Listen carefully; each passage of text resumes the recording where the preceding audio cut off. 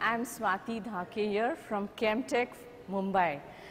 Chemtech, as of some of you may be aware, is uh, from start organized by Chemtech Foundation, which is a apex association of the process industry. Basically, uh, Chemtech World Expo will be focusing on the process industries. We have Chemtech World Pharma Bio World Expo happening from the 23rd to 26th of February at Goregaon, Mumbai. It's an open invitation to all the process industry related sellers, buyers as well as the manufacturers uh, to be there.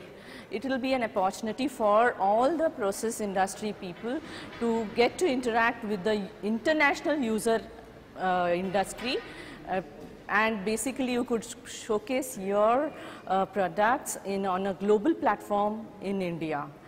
We have a lot of international delegates and speakers coming in.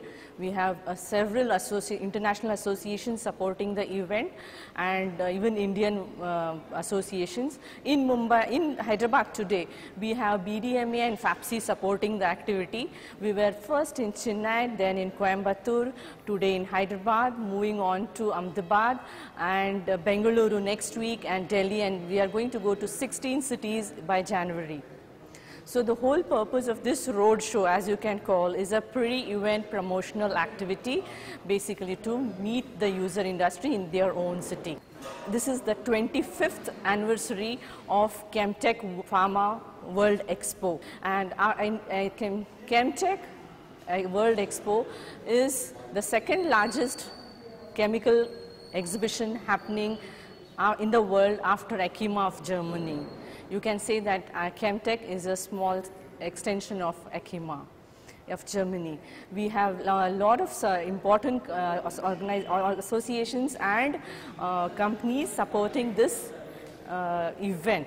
We have five conferences happening in concurrent with the expos. They are the chemical then we have the pharma bio, we have in the engineering, procurement and construction, industrial automation and control and water management conferences happening during this event from February 23rd to 26th at Mumbai and we would like you to block these dates to be there and it's an open invitation to everybody to be there. Thank you.